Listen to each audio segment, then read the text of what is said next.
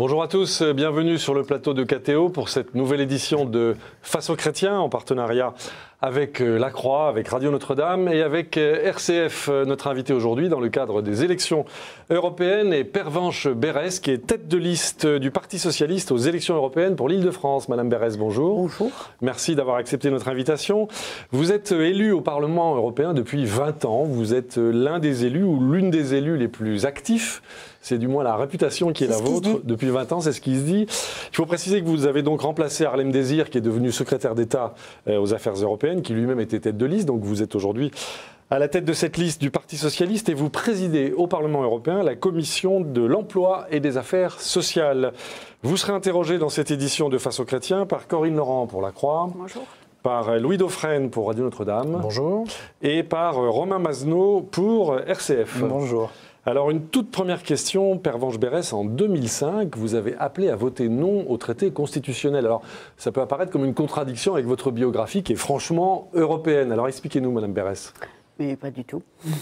D'abord, bon, euh, je ne pensais pas qu'on était dans une euh, émission historique, mais euh, en 2005, j'ai justifié dans un article qui avait été publié dans un journal du soir bien connu, un papier qui s'appelait, un article qui s'appelait euh, Non pour l'Europe, euh, parce que je pensais en 2005 que euh, ce qui était proposé comme réforme fondamentale des traités pour permettre à l'Union européenne de faire face aux défis qui l'attendaient n'était pas adapté. Et que par exemple, c'était un de mes principaux arguments, la question du fonctionnement de l'Union économique et monétaire n'était pas achevée et que cette situation ne nous permettait pas d'affronter.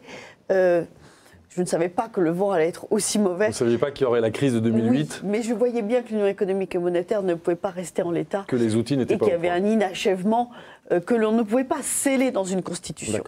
Merci pour cette précision. C'était un nom très européen. Très bien. Et vous êtes restée européenne Oui, bien sûr. Très bien. Une première question vous est posée par Corinne Laurent pour la Croix. Mais pas n'importe quelle Europe, faites attention. Hein. Permettez-moi de le préciser. On va y venir. Euh, dans une tribune consacrée euh, à l'Europe, l'ancien président euh, Nicolas Sarkozy prône une révision de, l'accord de Schengen, un thème qu'il avait déjà défendu lors de l'élection présidentielle en 2012. Est-ce qu'il faut un Schengen 2 Est-ce qu'il faut revoir les frontières de l'Europe? Pervenche Berès. Ah, d'abord, je dois dire que cette tribune est pour moi quand même une chose assez surprenante. Euh, ça dit quand même euh, l'état euh, du parti de M. Sarkozy, de celui que M. Sarkozy a créé. parce qu'il dit ça, M. Guénaud dit autre chose, M. Vauquier encore autre chose, M. Lamassoure une troisième, ils se contredisent entre eux. Et je vois bien que même cette sortie, cette tribune de l'ancien président ne résout rien, puisque ça continue. Hein. J'ai entendu M. Fillon. Sur l'affaire de Schengen, soyons sérieux. nous venons de réviser Schengen sur la base d'une proposition qui avait été initié par quelqu'un que euh, M. Sarkozy connaît bien, puisqu'il s'agit de M. Hortefeux.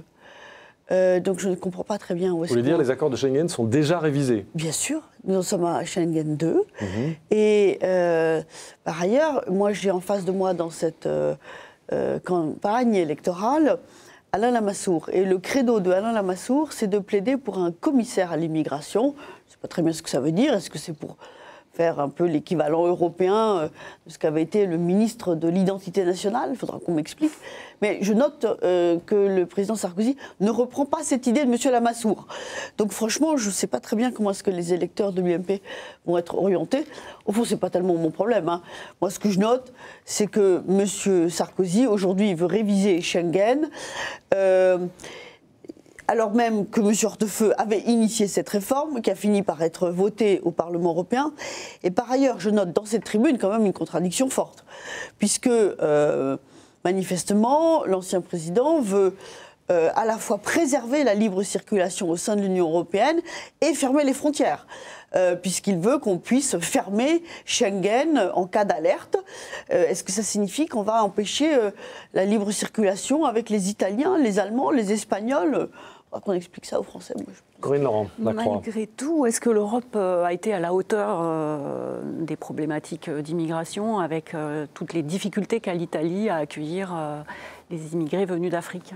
Non, mais c'est bien pour ça que chacun a accepté de rentrer dans la discussion mm. d'une révision de Schengen et que Schengen est aujourd'hui défini sur une base nouvelle.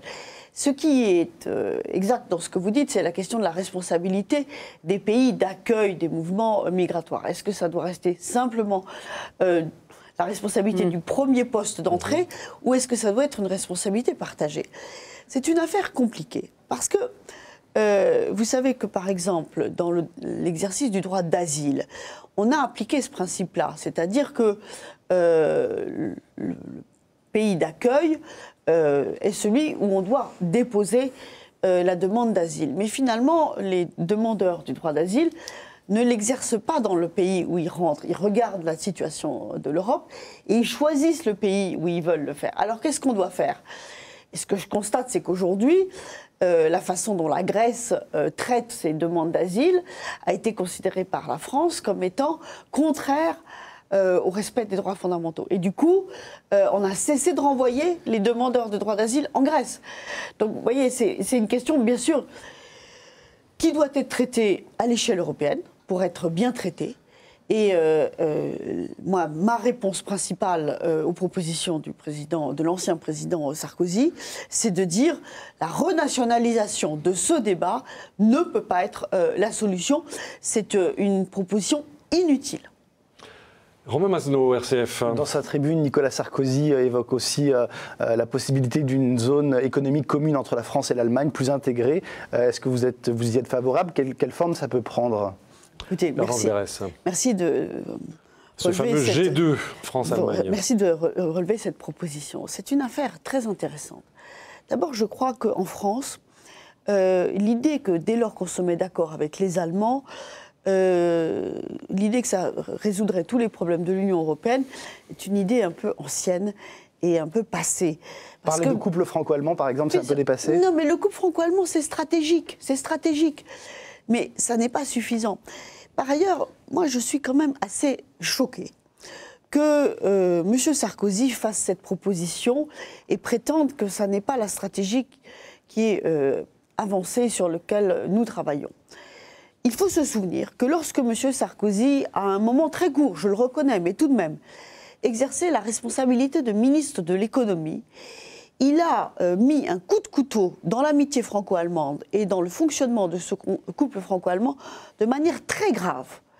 Il était responsable de l'économie, donc patron de Bercy, et il a eu à gérer une première affaire Alstom où Siemens, qui est installé dans le land de Hesse, a voulu racheter Alstom. M. Sarkozy a déployé toute l'énergie dont il est capable pour interdire euh, ce rapprochement entre deux champions européens. Le résultat, c'est que le land de Hesse, depuis, est monté tambour battant contre tout rapprochement entre une entreprise française et une entreprise allemande. Et alors même que le cœur battant d'une stratégie française et d'une stratégie européenne bien compris, c'est le fonctionnement de la zone euro. Ça a conduit à ce que le rapprochement entre la bourse française Euronext et la bourse allemande Deutsche Börse soit impossible parce que le Land de Hesse n'en a pas voulu en mesure de rétorsion contre la façon dont M. Sarkozy avait fait du patriotisme sur l'affaire Alstom. Le résultat, c'est que vous n'avez pas de bourse européenne et que vous avez une bourse française qui a été obligée de s'allier avec Nice, euh, euh, la, bourse de New York. Donc franchement, recevoir des leçons en matière de stratégie franco-allemande, il faut que chacun balaye devant sa porte et je pense que M. Sarkozy a fort à faire. Louis Dauphren, Radio Notre-Dame. Ça prouve que l'Europe, en son sein, ravive des tensions, en fait, au lieu de réconcilier les États cela avive au contraire les anciens intérieurs. Non, pas du tout. Ça veut dire que quand on ne comprend pas qu'il euh, faut à la fois aimer la France et aimer l'Europe plutôt que d'opposer les d'autres l'un à l'autre et vouloir jouer le champion national en ignorant la valeur ajoutée des autres, alors on hmm. fait fausse route. Et la logique demeure nationale, c'est ça en fait. On reste dans une logique nationale aujourd'hui. Non mais ça c'est la réalité. Si on est, on peut la déplorer, mais c'est la réalité. Non, moi je, je, crois que là où on est D'un bon, côté comme de l'autre. Hein. Écoutez, là où on est bon, c'est quand on avance ensemble. Vous le savez très bien. Je veux dire, euh, en France. Euh, on, a, euh, on aime bien citer Airbus. Bon, mais Airbus, c'est quand même une des belles avancées industrielles récentes, ou même maintenant presque anciennes, et c'est quand même le fruit d'une coopération. mais ça n'a rien à voir avec l'Union européenne, Airbus. Hein.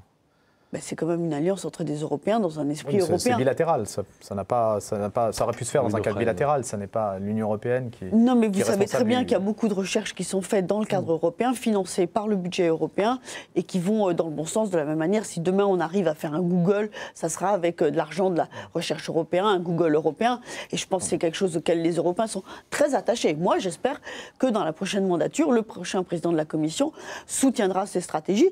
Et vous vous en doutez, je ne pense pas que ce sera Un mot peut-être sur cette affaire encore franco-allemande. Euh, moi, je pense que il y a dans l'esprit français aussi parfois une idée un peu euh, paradoxale. C'est l'idée que euh, si les Anglais, les Britanniques quittaient l'Europe, tout irait bien. Et quand on voit la question de la relation franco-allemande, on voit bien que ça sert de bouc émissaire, alors que la réalité est effectivement qu'il faut s'entendre avec les Allemands. Mais pour pouvoir s'entendre avec les Allemands, il faut aussi avoir des gens qui sont euh, dans cette euh, volonté-là.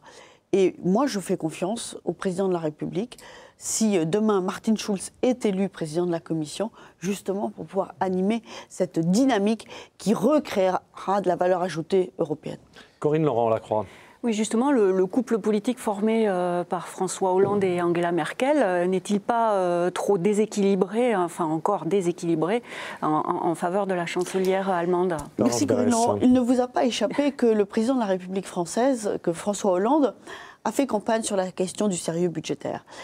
Et moi, j'ai été très frappée d'un des premiers interviews qu'il a posé sur la question, euh, qu'il a euh, donné sur la question européenne, où il a utilisé l'expression de souveraineté. Et j'ai eu à ce moment-là beaucoup de journalistes de vos collègues de Bruxelles qui m'ont appelé Mais qu'est-ce que c'est que ça, François Hollande, qui appelle à la souveraineté euh, N'est-il plus européen? Et je leur, ai fait valoir que si François Hollande parlait de souveraineté, c'était justement pour pouvoir restaurer euh, cette dynamique européenne. Car il n'y a pas d'Europe qui peut avancer si la France est trop affaiblie. Pour restaurer la voie de la France à l'échelle européenne, il faut redresser son économie, restaurer ses comptes. C'est la voie sur laquelle il est engagé. Et c'est dans ces conditions euh, pour avoir une bonne dynamique du couple franco-allemand au sein de l'Union européenne euh, que l'on peut euh, au mieux se servir de ce formidable levier qui est l'Union européenne. Romain Masneau, RCF. Justement, je voulais savoir quelle politique éco- économique vous, vous, vous prenez en fait, parce que vous parlez de relance euh, économique au niveau européen, et en France, on voit que le gouvernement recherche 50 milliards d'économies, euh, que euh, l'objectif est toujours de réduire les déficits euh, avec l'objectif de 3,8% de déficit à la fin de l'année. Enfin, donc quelle est la, la cohérence? Est-ce que ce qu'il faut en ce moment, c'est de l'austérité ou c'est de la relance? Les deux, mon capitaine. Mais sûrement pas de l'austérité. Ce qui est appliqué en France, 50 milliards sur l'ensemble des dépenses publiques françaises, on ne peut pas vraiment dire que ce soit de l'austérité. La question de savoir comment est-ce qu'elles sont appliquées et réparties.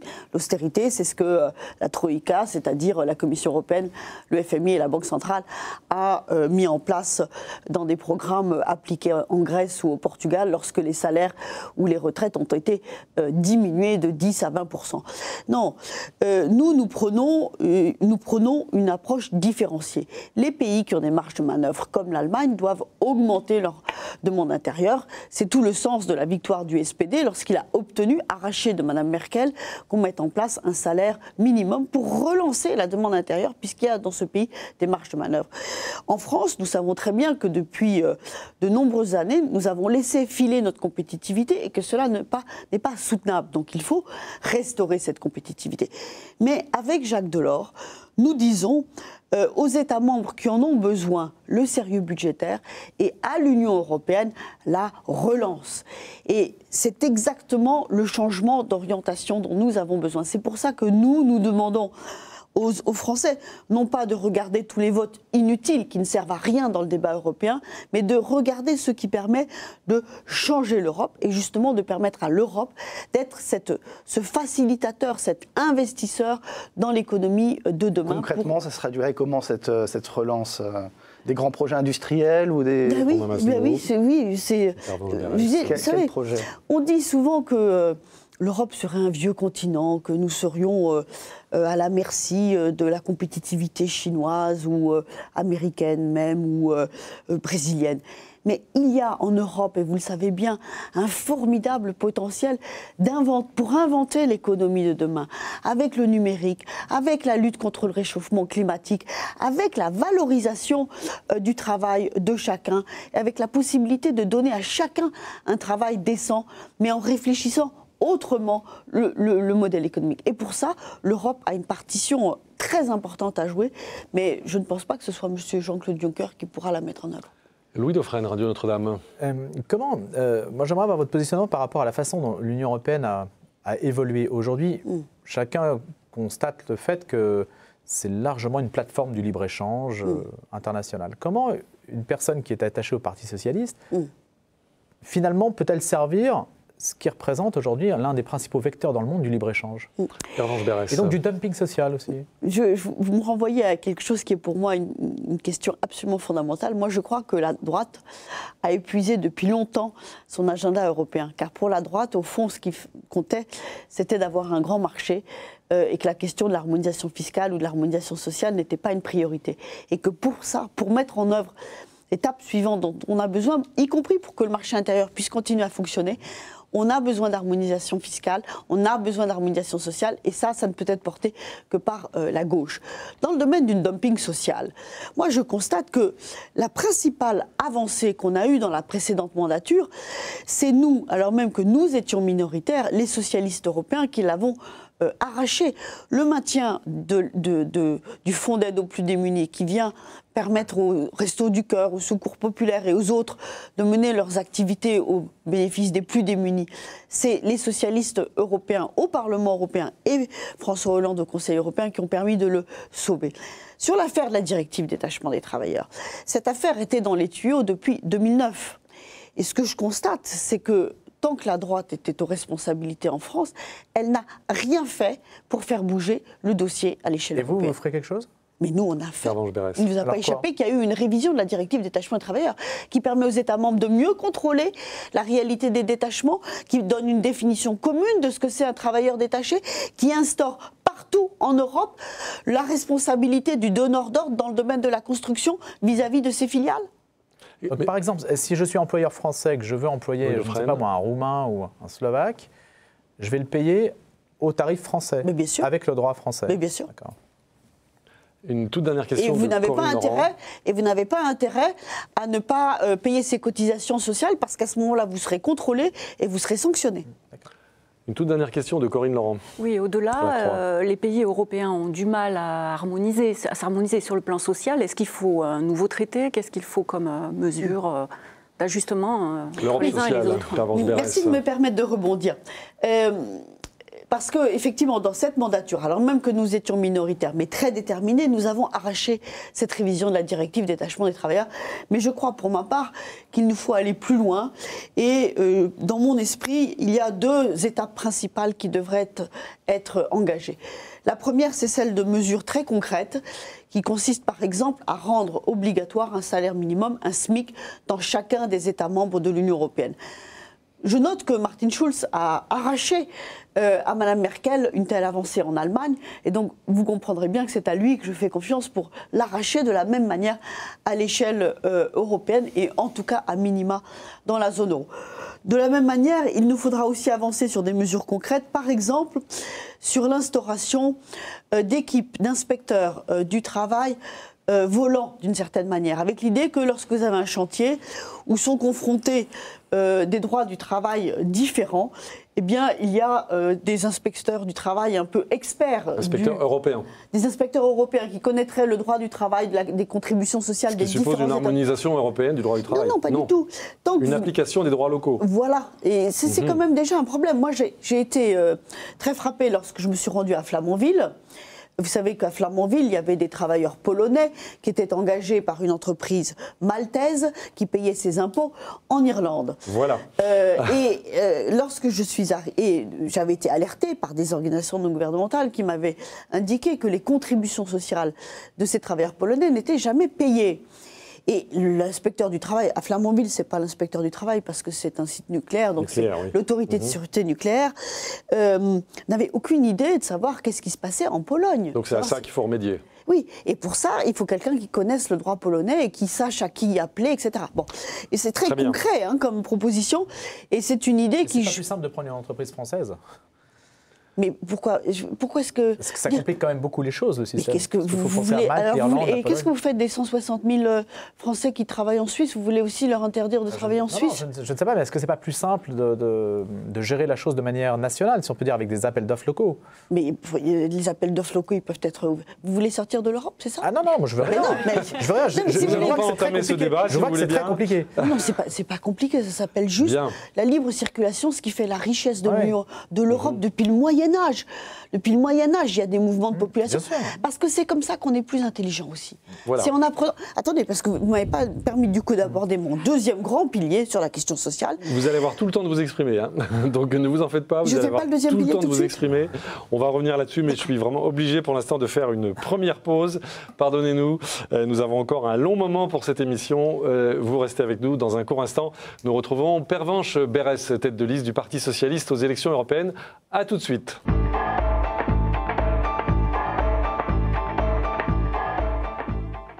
Retour sur le plateau de KTO pour Face aux chrétiens. Notre invité aujourd'hui est Pervenche Berès, tête de liste du Parti socialiste aux élections européennes pour l'Île-de-France. Elle est interrogée dans cette édition de Face aux chrétiens par Corinne Laurent pour La Croix, Louis Dauphren pour Radio Notre-Dame, Romain Mazneau pour euh, RCF. C'est Romain Mazneau qui ouvre le feu de cette deuxième partie, je crois, sur l'Europe sociale. Romain. Oui, alors justement, Pervenche Berès, il y avait ce, ce deuxième pilier de l'Europe sociale euh, que vous vouliez abordé, je crois. Merci. Merci, de me permettre d'y revenir. L'Europe sociale. Oui, je pense que la deuxième étape, au-delà de l'instauration de ce salaire minimum et de la mise en place de ces inspections du travail, c'est quand même euh, une réouverture euh, du traité. Car là, on a une vraie difficulté. Vous savez qu'à chaque fois que la Cour de justice est saisie d'un conflit de droit entre le droit social et le droit de la concurrence ou le droit du libre marché, la Cour de justice fait prévaloir le droit de la concurrence. Et donc petit à petit, il détruit des pans entiers. Enfin, il y a un risque de détruire des pans entiers de droit social. Et avec les syndicats. Des droits sociaux nationaux, c'est bien ça que vous voulez dire Oui, ou même. Oui, enfin, qui ne seraient pas euh, mhm. reconnus dans chacun des États membres, qui seraient considérés comme des obstacles à la libre circulation et avec la Confédération européenne des syndicats, avec l'ensemble des partis socialistes européens, puisque c'est un point important de notre manifesto dans cette campagne électorale, nous demandons que la hiérarchie des droits entre le droit social et euh, le droit de la concurrence puisse être corrigée dans le Pour ça, il faut que les 28 pays soient d'accord. Oui, mais vous savez, moi, on m'avait dit euh, à la suite du traité de Lisbonne que euh, le traité de Lisbonne serait immuable. Ce que je constate, c'est que face à la crise, au fond, on a besoin par petites touches d'ajuster ce traité. Et tout me laisse à penser qu'il y aura de nouvelles négociations de ce traité. Et moi, je nous dis que la gauche demande que toute nouvelle révision du traité, pour quelque motif ce soit, inclut également ce point. Oui, mais la gauche française est plutôt minoritaire. Hein.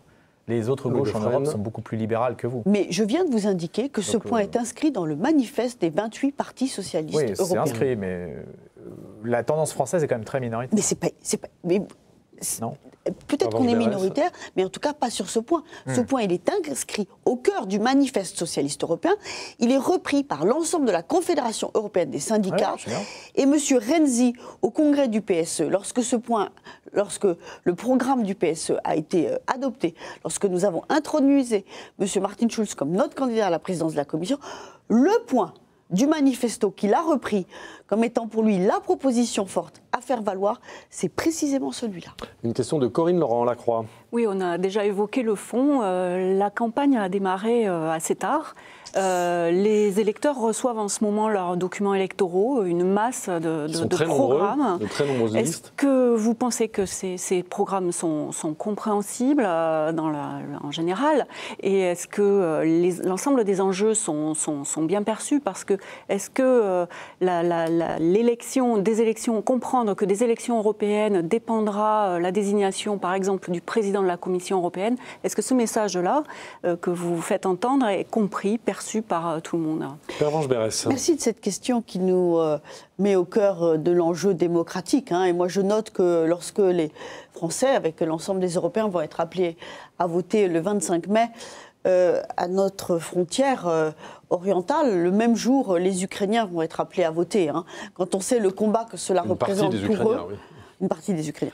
Quand on, mesure le combat que ça représente pour eux, qu'en France ou en Europe, certains boudent euh, ce privilège hein, d'avoir le droit de vote, je pense que c'est. Vous craignez pas une abstention forte, Pervenche Berès Oui, bien sûr que je la crains, mais je, je, je ne l'explique pas. Enfin, je ne me l'explique pas. Je, Vous la déplorez? je, la déplore. Mhm. Et simplement, ce qui est certain, c'est que si on ne parle des affaires européennes et des enjeux du Parlement européen qu'une fois tous les cinq ans, on laisse un espèce de nuage s'installer dans lequel on a l'impression que l'Europe, c'est quelque chose de lointain ou c'est quelque chose de technocratique. Or, l'Europe, c'est un objet très politique. Et la politique qui a été mise en œuvre par dix ans de M. José Manuel Barroso, moi, je considère que c'est une politique conservatrice, une politique libérale et qu'il faut changer cela. Et que pour ça, le bulletin de vote qu'il faut choisir au sein des 31 listes, qui sont offertes euh, aux franciliens et aux Français de l'étranger, c'est celui qui permet de changer l'Europe. Et le seul bulletin qui, pour moi, peut le faire, c'est celui qui conduit à soutenir ma liste, car c'est ma liste qui soutient Martin Schulz.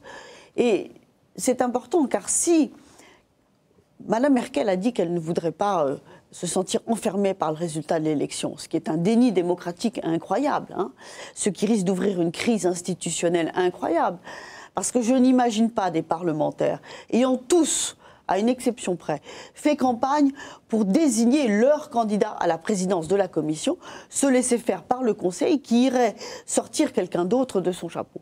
Et dans ces conditions-là, ça serait ouvrir une crise institutionnelle, parce que le Parlement européen résistera, et euh, à un moment où l'Europe a vraiment autre chose à faire que, à nouveau, euh, entrer dans une crise institutionnelle. La difficulté, c'est qu'en parlant une fois tous les cinq ans euh, de l'enjeu européen, il faut. Le premier travail, c'est de réintéresser les lecteurs à l'enjeu de l'élection. Moi, je ne rencontre pas que des gens hostiles. Je rencontre aussi beaucoup de gens qui ne savent pas à quoi ça sert À quoi ça sert un député européen À, trois jours, de l'élection Donc moi, la proposition que je fais, et j'espère que vous me soutiendrez, c'est qu'au lendemain de l'élection, on se retrouve entre les différentes listes, les différents partis, les différents médias, pour organiser une table ronde, pour regarder comment chacun nous prenons nos responsabilités pour faire vivre le débat démocratique européen dans notre espace politique, dans notre espace médiatique pendant les cinq ans qui viennent. Romain Mazno, RCF. Est-ce que ça a un sens en 2014 de prendre un décret, je parlais du décret d'Arnaud Montebourg, pour interdire à un groupe étranger de racheter une entreprise française dans un secteur stratégique? Quand vous en parlez à vos collègues sociodémocrates allemands ou aux travaillistes britanniques, qu'est-ce qu'ils vous disent? Berès. Ils me disent qu'ils ont fait la même chose chez eux. Les Allemands ont un décret, ils ont, un dispositif législatif similaire. Et vous savez, euh, vous avez rappelé au début de notre émission que j'étais parlementaire depuis longtemps, donc j'étais déjà parlementaire lorsque nous avons révisé la directive sur euh, les OPA, les offres publiques d'achat.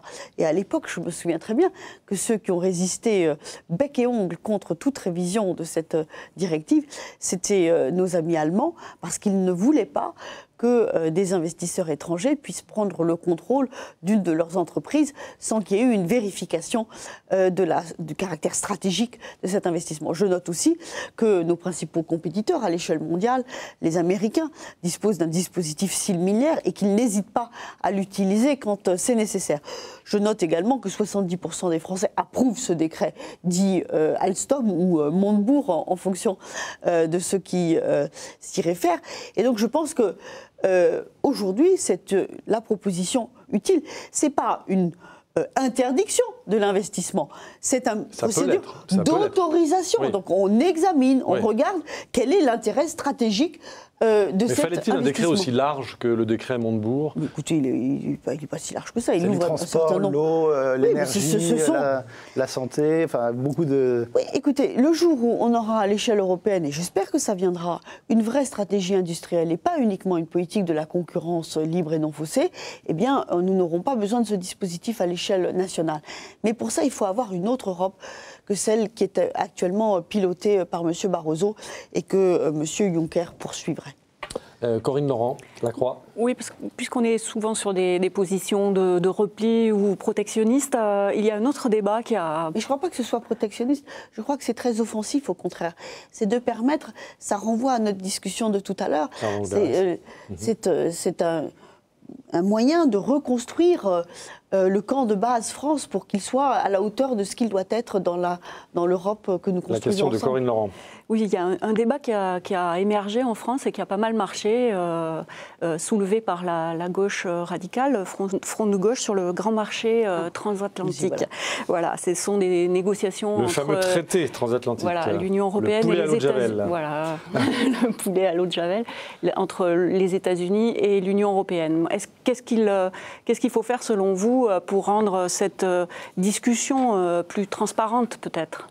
Élire Martin Schulz, merci de m'avoir permis de le rappeler, car Martin Schulz. Vous citez souvent Martin Schulz. Non, mais écoutez, moi, je suis, j'essaie d'éclairer les électeurs sur l'enjeu de cette élection. Et l'enjeu de cette élection, c'est de changer l'Europe. Pour changer l'Europe, j'ai besoin que de me débarrasser des conservateurs et des libéraux qui président aux destinées de la Commission européenne maintenant depuis dix ans. Donc, si j'ai bien compris, voter pour vous, c'est voter pour, pour Martin Schulz pour changer l'Europe. C'est bien ça l'axe de votre intervention. Vous avez résumé tout ça? On a bien compris. Alors, j'en reviens euh, à votre euh, mhm. euh, proposition. Lorsque on, veut rétablir euh, la compétitivité française, je crois que de mettre en œuvre une stratégie industrielle, c'est quelque chose euh, auquel, sur lequel on a besoin de travailler au niveau national et au niveau européen. et donc le traité Qu'est-ce que l'Europe a y gagné à ce, traité? Pourquoi c'est indispensable pour l'Europe?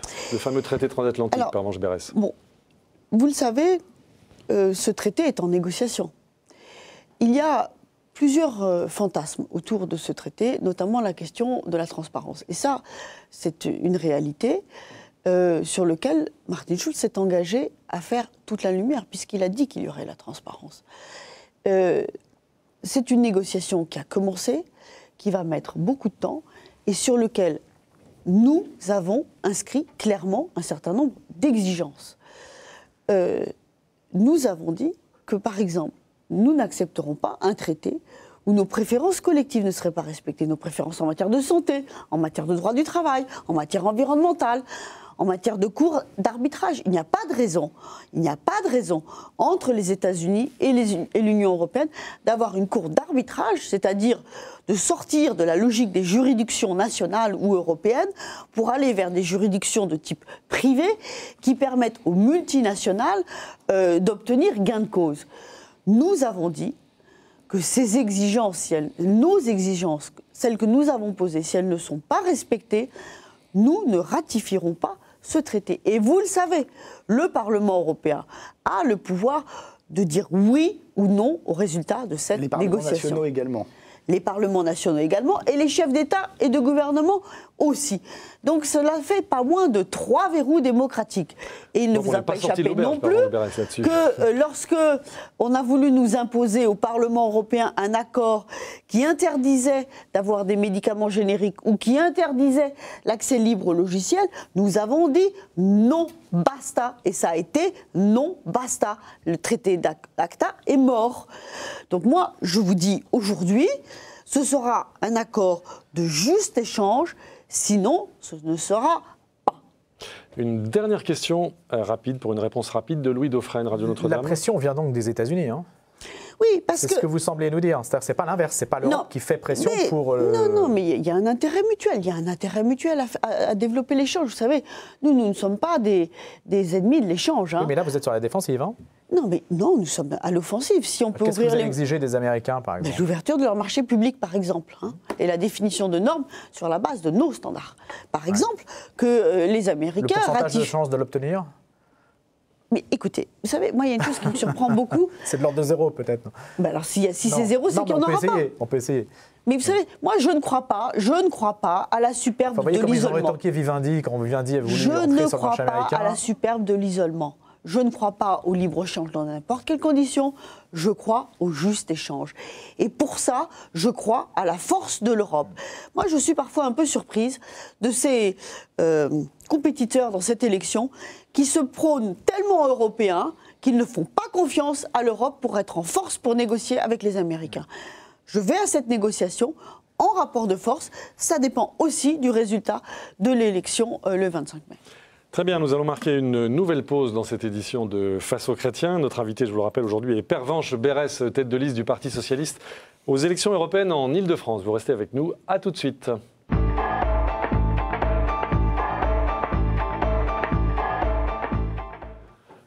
Retour sur le plateau de KTO pour cette édition de Face aux chrétiens avec notre invité Pervenche Berès, qui est tête de liste du Parti socialiste aux élections européennes pour l'Île-de-France. Elle est interrogée dans cette édition euh, par Corinne Laurent pour La Croix, Romain Mazneau pour RCF et Louis Dauphren pour Agneau Notre-Dame. C'est Louis Dauphren qui pose la première question de cette dernière partie de Face aux chrétiens.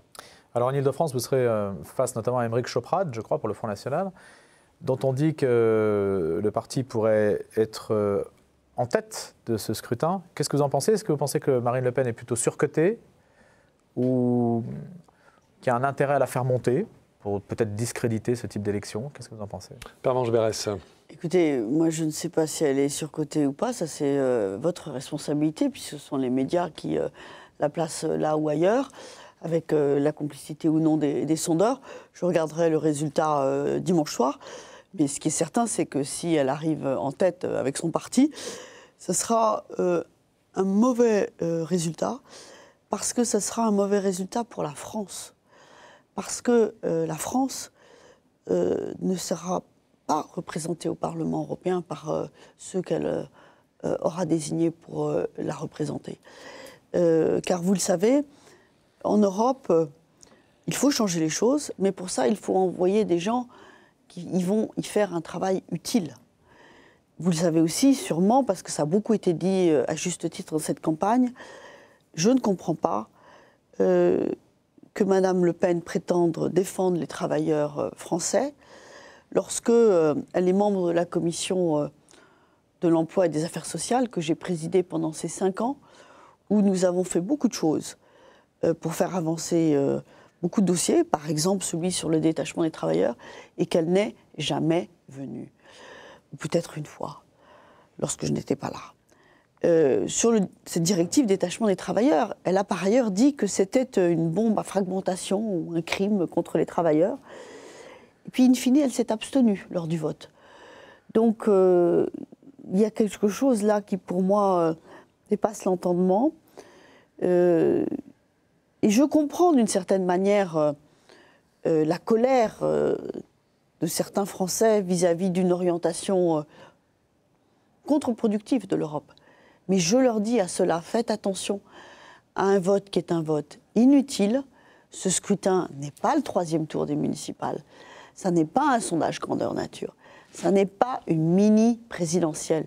C'est un scrutin continental, c'est un scrutin fondamental, c'est un scrutin où il faut changer l'Europe. Pour ça, il faut envoyer au Parlement de Strasbourg des élus qui seront amoureux de la France pour faire changer l'Europe pas des adversaires de la France en Europe. Corinne Laurent, Lacroix. Oui, le, Front National est, donné, euh, est placé en première euh, position par les instituts de sondage ou juste derrière l'UMP, ce qui est le cas euh, en Ile-de-France où vous êtes candidate. Est-ce que vous pensez qu'en Ile-de-France, la situation peut être difficile? Et puis, est-ce que le François Hollande doit avoir une réaction adaptée en fonction du, résultat, du score de la droite et de l'extrême droite? Ce scrutin n'est pas un scrutin français, c'est un scrutin européen. Et euh, les, le changement de gouvernement est intervenu au lendemain des élections municipales et on n'a aucune raison, et je note que le Premier ministre Manuel Valls l'a clairement dit euh, hier soir à juste titre à Barcelone, il n'y a pas euh, d'impact national de cette élection il y a un impact européen et il y a le risque d'envoyer euh, à Strasbourg des parlementaires qui n'ont aucun allié à l'échelle européenne. Si c'est l'extrême droite, alors même que M. Farage, le leader des nationalistes euh, ou de l'extrême droite britannique, ne veut même pas discuter avec Mme Le Pen parce qu'il la trouve trop antisémite. Non, moi ce que je note, si le Parti socialiste arrive en troisième position, ce que je note, ce que je note tout de même, c'est une dérive, et je m'étonne que vous ne posiez pas la question de cette manière-là, c'est une dérive du Front National qui pète un câble. Vous avez entendu les derniers propos de M. Le Pen.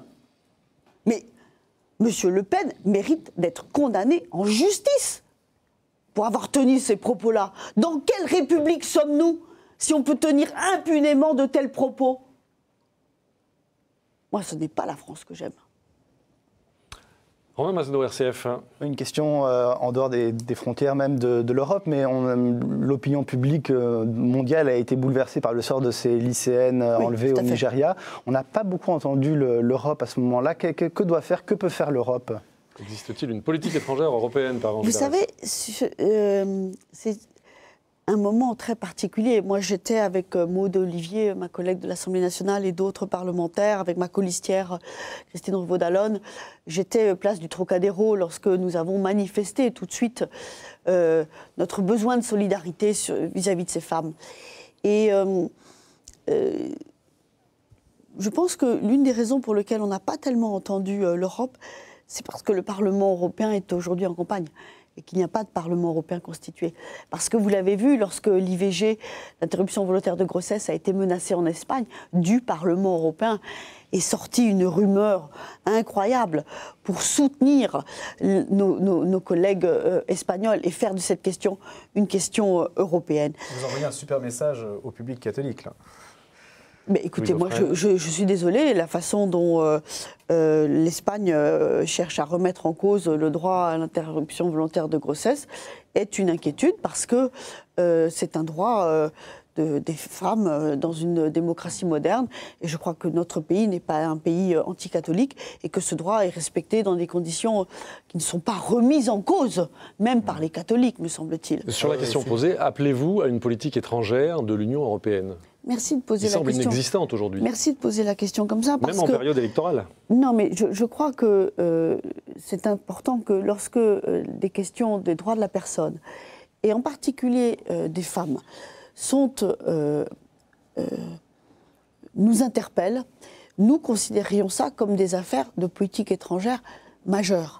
Car derrière, il y a toujours un enjeu qui dépasse l'enjeu de savoir si ce sont des femmes qui sont maltraitées ou pas.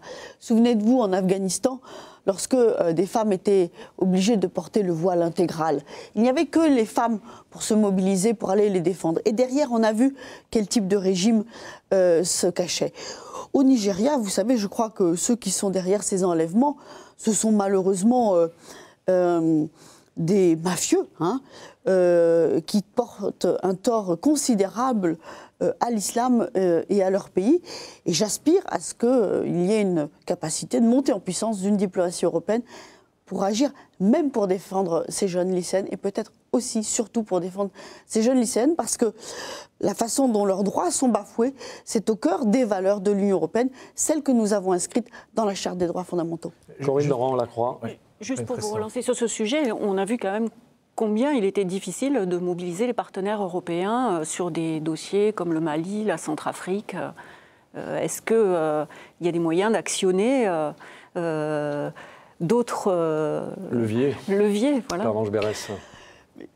C'est quelque chose sur lequel il faut monter en puissance. Parce que au Mali, on le sait, lorsque la France intervient, elle intervient pour sa propre stratégie de politique étrangère. Mais moi, je, euh, j'ai la conviction que c'est un engagement euh, au nom de la lutte contre le terrorisme qui intéresse euh, toute l'Europe. Mais de la même manière, vous savez, vous prenez la question de nos relations avec l'Ukraine.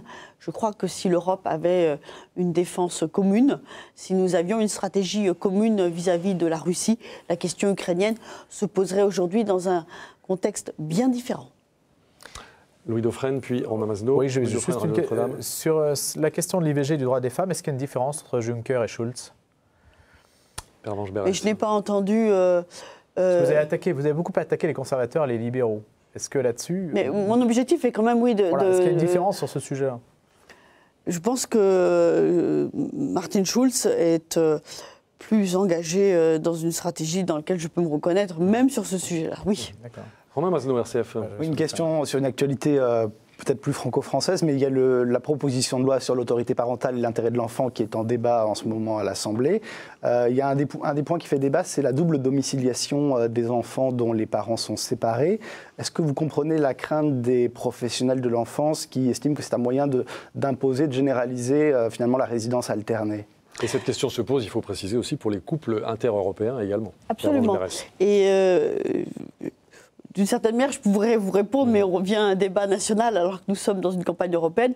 Mais je ne vais pas vous dire ça parce que je crois effectivement qu'il y a une dimension européenne euh, à ce débat, ne serait-ce que parce qu'il y a des couples mixtes euh, dont j'ai eu l'occasion euh, de, m'occuper très directement, puisque j'avais été nommée par la garde des Sceaux responsable d'une mission de médiation franco-allemande pour justement regarder comment est-ce qu'on pouvait permettre à des enfants issus de couples mixtes de vivre leur rapport, le rapport à leurs parents de manière harmonieuse. Je suis euh, responsable dans la charte de l'écriture, dans la charte des droits fondamentaux de l'Union européenne, d'un article 24.3 que je vais vous lire, qui dit brièvement, allez-y. tout, tout enfant a le droit d'entretenir régulièrement des relations personnelles et des contacts directs avec ses deux parents, sauf si cela est contraire à son intérêt. Je crois que ce droit, qui est inspiré de la Convention des Nations Unies, est un droit absolument fondamental et qu'il faut, s'il n'est pas naturellement respecté, des outils juridiques pour qu'il puisse être respecté. C'est dans l'intérêt de l'enfant, même pour les enfants en bas âge, de voilà. Absolument. La coparentalité. Et, je suis parfois étonnée que ce sujet fasse tellement débat, alors même que euh, l'idée qu'un enfant se détermine par rapport à des différences, par rapport à des euh, responsables en parentalité euh, différents, qu'on puisse imaginer qu'un enfant puisse s'épanouir en n'ayant pas de contact avec ses deux parents. Ça me paraît contraire à l'épanouissement de l'enfant. Et donc moi, j'espère que l'obstruction euh, dont la droite est responsable à l'Assemblée nationale cessera et que l'on pourra avancer dans ce domaine. Vous savez, à l'échelle européenne, lorsque je me suis occupée de cette mission de médiation euh, pour des enfants issus de couples franco-allemands, j'avais été très frappée que dans notre pays, au fond, notre droit de la famille est un droit euh, assez évolué par rapport à d'autres droits. Et j'espère que nous puissions rester dans cette euh, avant-garde du droit de la famille pour éclairer nos partenaires plutôt que d'être euh, à la, à, l'arrière-garde pour être trop euh, conservateur et donc de ne pas évoluer et permettre d'accompagner l'évolution de la société.